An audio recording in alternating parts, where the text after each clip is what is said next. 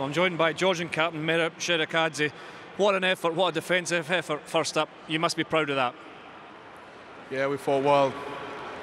We've done everything to not get scored like we did. It's not the first time this happens. hopefully in future we're gonna improve and in these kind of games we can be more productive in attack as well so we can score some points.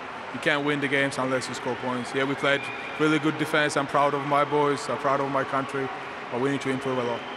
And did you have the belief when Alex Todua scored late on that you could come back and cause an upset? Say again, please. Could you? Did you have the belief after Alex Todua's try that you could keep going? Well, at that time the score was quite close, so we could have been in the game for longer. We had opportunity, but Australia is a very strong side, and they use every opportunity they get. So, well done, well done to them. And a physical presence and a successful World Cup campaign overall.